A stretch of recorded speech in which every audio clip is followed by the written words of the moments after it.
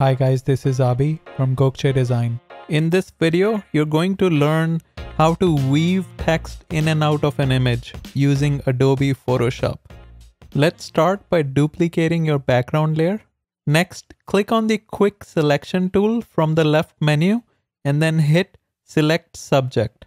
Use the plus minus brushes to clean up the selection. You can also use select and mask to refine the selection further. Once done, click on the Add Layer Mask button. Now create a brand new layer and use the text tool in the left menu to add some text to your image. Use the Move tool to adjust and transform the text to your liking. Drag the subject layer all the way to the top so the text is behind it. With the layer mask selected, click on the brush tool from the left menu and make sure the hardness is set to 100%, mode is normal, and the opacity and flow are also set to 100%. Now change the foreground color to black. Remember, black conceals and white reveals. Next, paint over the part of the model's body that you would like to hide behind the text. Note we have a duplicate copy of the subject in the background layer, which is still active so it will fill any areas not covered by the text. I'm also going to use the crop tool to crop the image a little bit from the left. To add a gradient to your text, click on the new adjustment layer button and choose gradient. From the gradient dropdown, I'm going to select a purple gradient.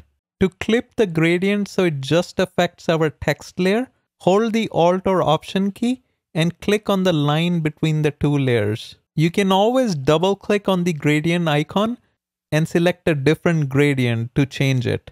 If you wanted to go one step further and match the highlights and shadows of your background image to that of your text, click on the new adjustment layer button and select curves.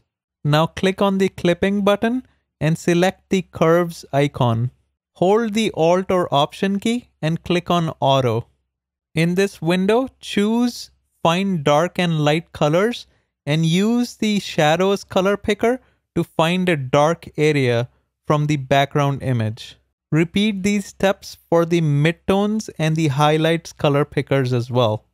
Click OK when done. Now the dark and light areas of your text should match that of the background.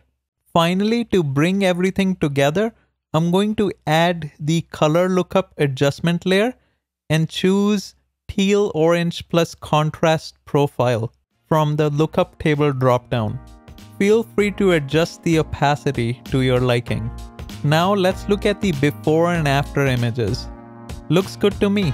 Make sure you like, subscribe and turn on the notification bell. Until next time.